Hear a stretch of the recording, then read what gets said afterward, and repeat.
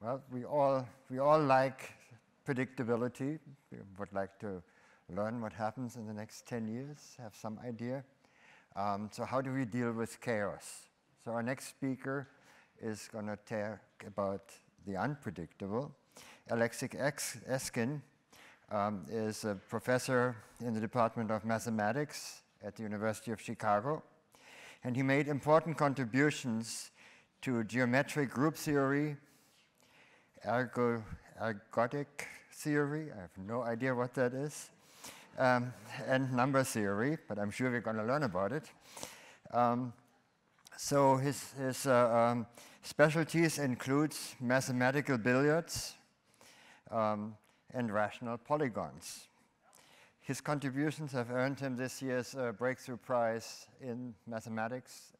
Um, and I think that's one of the wonderful things about uh, these awards is that they go all the way from life sciences to physics um, into mathematics. So Alex's talk is Structure Hidden in Chaos. So there's structure in there, past and future. Uh, please join me in welcoming Alex to the stage.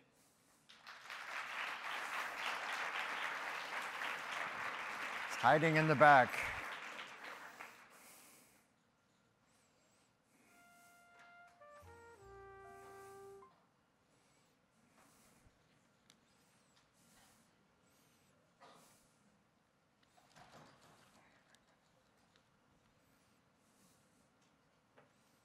Anybody know what ergodic theory is?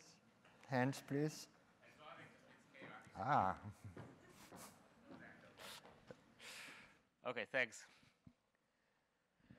Thank you. Thank you for, uh, for a wonderful introduction. So, I don't know. I mean, I think that a lot of this talk will be a little bit mysterious. It's hard to talk about mathematics to a general audience in such a short time. Uh, but I'll try to show you some pictures and hopefully everything will be okay. Uh, so there'll be no quiz. so let me start with something called uh, a theorem which really inspired me very much. It's called Ratner's theorem. It's by Marina Ratner, who was a professor at the University of California, Berkeley. She died very recently. And she proved this amazing theorem in 1991. And I'm not showing you a statement of it, but it's some, something about certain motion in homogeneous spaces. Homogeneous spaces are spaces where everything, every point looks like every other point. And it's somehow, maybe the theme of the talk is this kind of theorem sometimes reveals certain hidden structures and chaotic phenomena. You can see something that kind of looks very random, but if you know exactly where to look, you look something very, very structured. And here is maybe a quote from Elon Lindenstrauss, the field medalist in mathematics, and he says that remarkable about this theorem is that somehow how many different applications they had. By application, I mean application to other parts of mathematics. There is no, no actual, it mostly to things like number theory and so on. But it's, it's sort of, uh, it's something which kind of allows mathematicians to kind of go off in different directions and prove results, which would be very difficult to obtain by other means. And uh, what Maryam Mirzakhani and I proved and, uh, was, and this was something which we worked on for a long time, and this was, is essentially an analog of Ratner's theorem, but for objects which are not homogeneous, they're called moduli spaces. So I don't think I want to define all of this. Uh, let me just show you.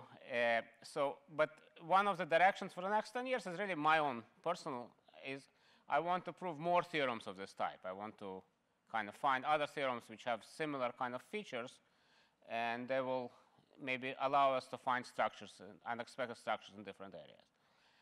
But uh, so maybe I should actually, let me just show you the scary slide. Here is the theorem. Don't read this. You don't, you're not expected to read this.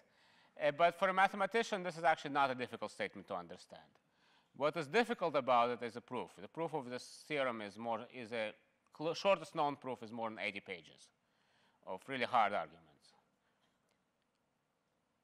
And, and it's, uh, the original proof was actually more than 300 pages, but it's been somewhat uh, simplified. But uh, now, what I'm going to talk about for a, a, a little bit uh, for most of the rest of the talk, I'm going to talk about recent results which don't use uh, this theorem, but the, the, the theorem that uh, Mirzakhani and I proved. So these are like results in which that plays a role, and that's kind of a, uh, a kind of marker for the kind of results we want to see in the future in, in the next 10 years. Uh, so we should be able to, if you prove more analogs of Ratner's theorem, we should be able to see more results of a similar flavor. So anyway, let's just, uh, it's possible to see what um, uh, this thing, so this is a particular polygon, and we're going to play pool. So we're going to just bounce a billiard ball around this particular polygon. The angles are marked over there. It's important to have exactly these specific angles, and so when you play pool, the angle of incidence is the angle of reflection, because the billiard ball is actually, it's mathematics, so it's not an actual ball, it's a point which is reflecting off the sides. So, and what I'm going to talk about is I'm going to talk about what's called periodic trajectories. These are trajectories which kind of keep on going forever. So, and they'll kind of repeat themselves. So if you reflect off this wall and then you're going to reflect off the other wall, you're going to back and going to reflect off the original wall and can go on forever. And so this is called a periodic trajectory. It has a period, which is really its length. And uh, this is, I think, the shortest one in that particular polygon. And now I'm sorry, I don't have a pointer, but I kind of wanted to, is there, it's somehow what happens kind of passes near this corner, which is at 7 pi 5 over 5. It doesn't actually hit this corner, it kind just passes near it, just an artifact of how my computer uh, drew this uh, picture. So this is the shortest one. And now let's look at the next one. This is the next one. Again, it doesn't really pass through this corner at 7 5 over 5, it kind of passes very near it. And it's, it also has a length, or a period, and its length is actually exactly the golden mean 1 plus root 5 over 2 times the length of the red one. So, so you probably can't see it, but it's true. If you want to compute this, you can compute this. And now here are the next two, by, ordered by length.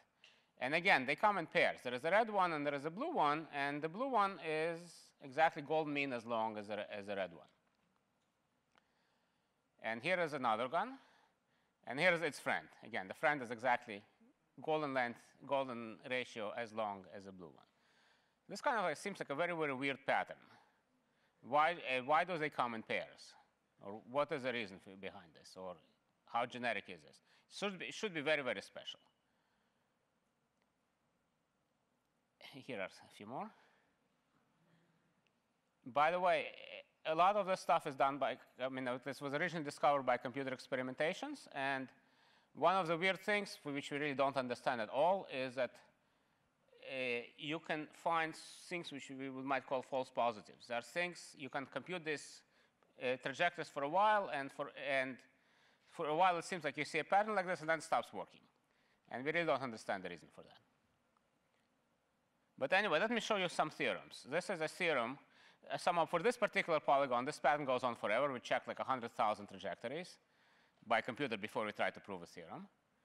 And it actually does work. There is, there is a theorem, and this is a theorem which is, this is a joint work with Curt McMullen, Ronen Mukamel, Alan Wright, Alex Wright, and myself. And so again, you look at this particular polygon, uh, and you look at the lengths of the periodic trajectories, and then the, it, what this says is the lengths come in pairs whose ratio is exactly the golden mean, which is exactly the statement I was saying before. So this is, a, this is basically just what I just mentioned before. Now, one weird thing about it is that if I look at this polygon again, I, this is a quadrilateral. Now, if you have a triangle and I specify the angles, I know the triangle up to scaling, right? I basically know what the triangle is up to this completely scaling, which doesn't really do anything in this. But if I have a quadrilateral and I specify the angles, I don't know the quadrilateral. I still have a one parameter family of such objects. I can move, I can move some of the sides and keep the same angles. And what this theorem says is this pattern exists is this, uh, no matter which quadrilateral with those angles I have. And this is something which is kind of, if you think about this, extremely strange and unexpected because if you think about, this is really a theorem about, I mean, the interesting thing about it is very long trajectories. If you start uh, looking at these very long trajectories and then you start moving the sides of the polygon, everything, eventually you'll hit some complete chaos. Everything will be different. Nothing will remain the same. On the other hand, this particular pattern of these trajectories coming in pairs somehow persists.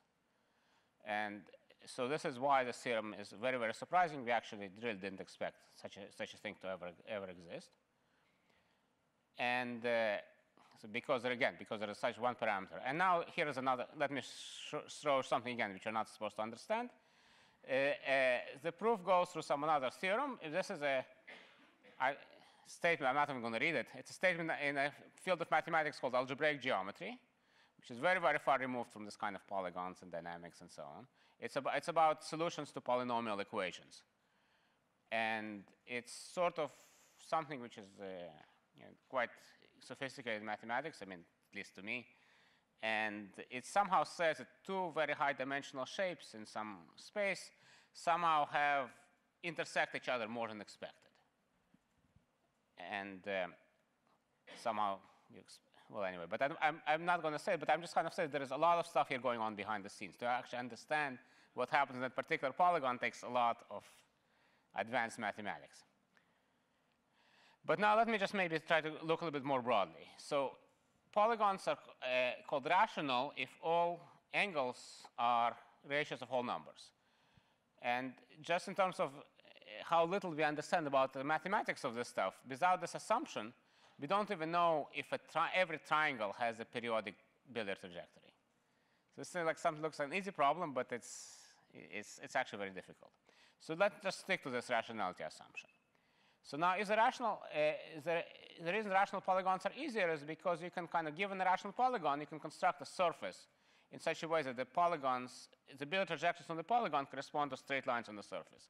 And the idea here is, so if I have this Billiard trajectory, I can, instead of reflecting the billiard, I can actually reflect the surface. And so I can make, make four copies of this polygon to make this kind, uh, this kind of torus-like shape. And then on, on this surface, I just, uh, the straight lines, the Billiard trajectories become straight lines. And again, this is the more complicated example. If I start with this polygon, I get this regular decagon with opposite sides identified. And somehow here, if you, because you're identifying the opposite sides, all the blue points become the same point and all the green points be, become the same point, which means that uh, at, at the green point and also the blue point, you get a cone angle, which is not 2 pi, but here it's 4 pi. So it's a kind of a conical singularity. So anyway, so here is a, sorry, I'm pressing the wrong button. Now, now what happens here is that if you have, when you have a single trajectory, you kind of have a, a, lot of friends. It has trajectories which are parallel to itself, so the, you really should be counting cylinders of periodic trajectories. Anyway, here is what happens to the, now I've done the same procedure, but for the, poly, for the quadrilateral in the original picture.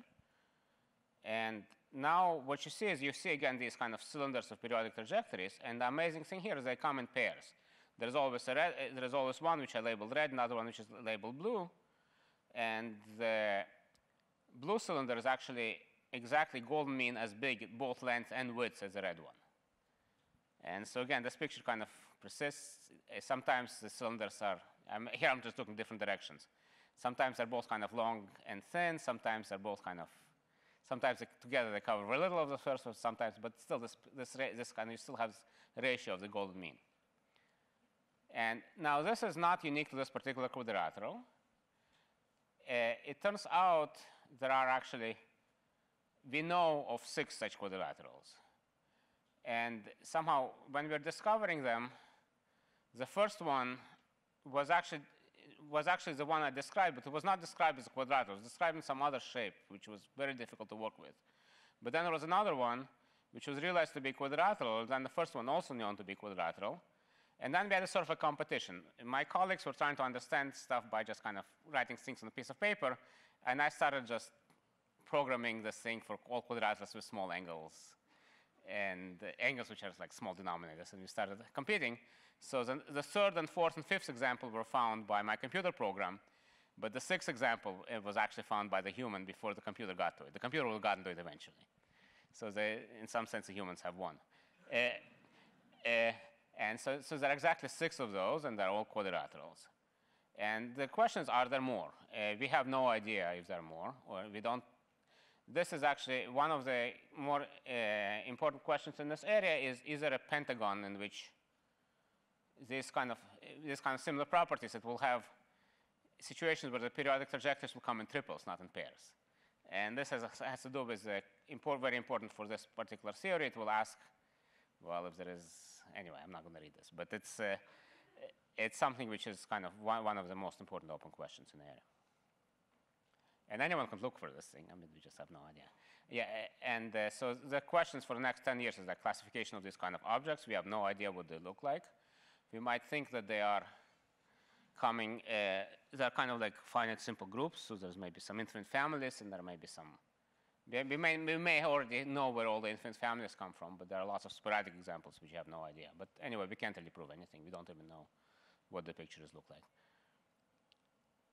And we really, basically, we do expect there should be more examples which you need to find. And in fact, the, we actually had conjectures about this, but the thing that I started the talk with is actually a counterexample to most of the conjectures, so we really don't know what, what to expect. And we, uh, one of the questions really whether we can anything about the counterexamples. Anyway, here is another thing, uh, which is kind of comes from the same kind of uh, theorem, uh, like analog of Ratner's theorem. This is called the illumination problem, and here you have a, a room, imagine a room is made out of mirrors, and if, you imagine you put, uh, so y is illuminated from x, if there is a billiard trajectory going from x to y, and you think of putting a candle at x and seeing if y is in the light or in the dark.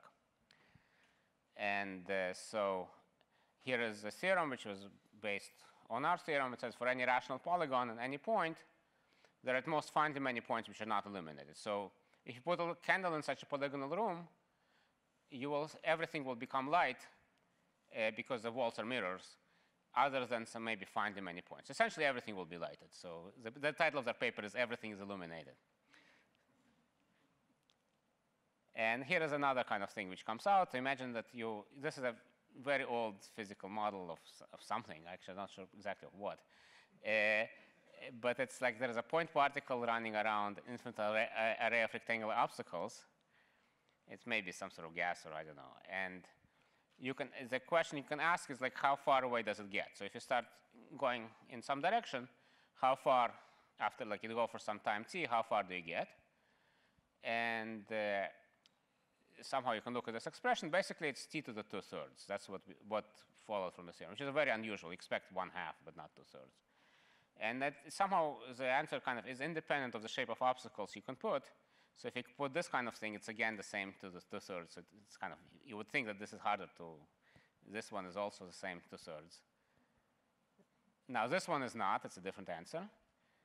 But if you remove a few more squares, it's back to two thirds. So it's quite quite mysterious what's going on in there. And you can also figure out what happens in these kind of shapes and these kind of shapes and so on. So there is an exact formula for what happens for this kind of object. And really, uh, in the future, we really basically want to understand, prove more theorems of this type, and we hope that to see somehow more hidden structure of this kind. Okay, thanks.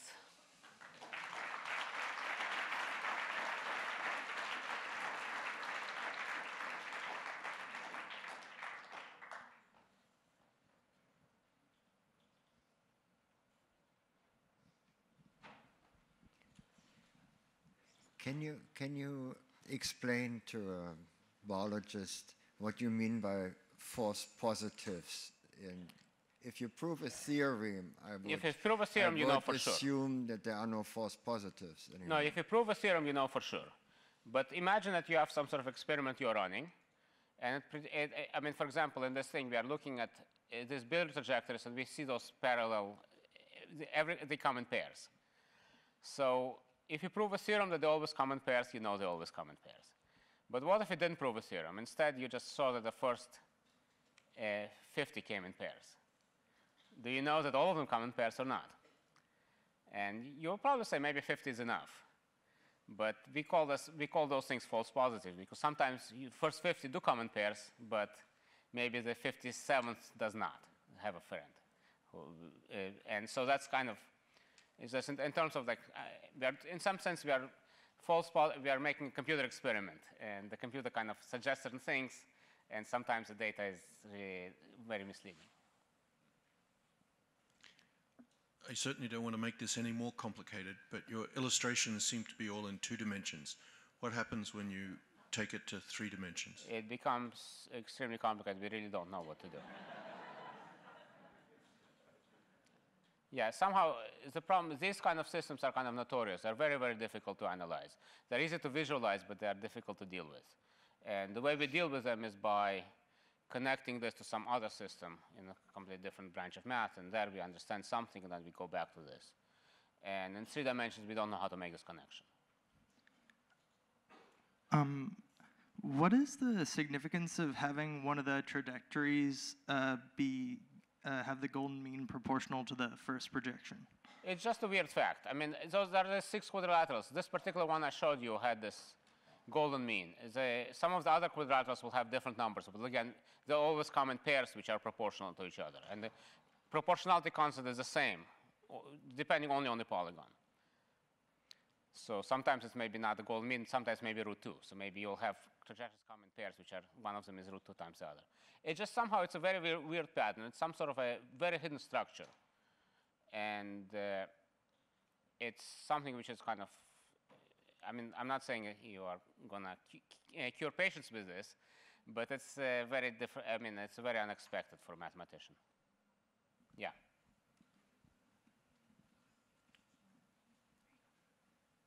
Can you help, help us understand what do you expect might emerge from understanding the hidden structure that you're exploring? Well, we don't know exactly, uh, which, but uh,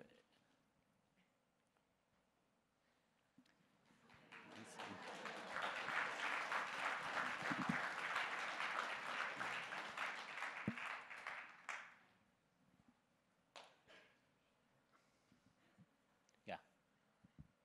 Okay, sorry.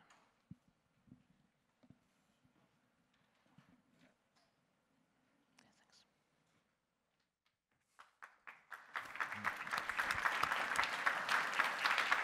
Thank you so much, Alex.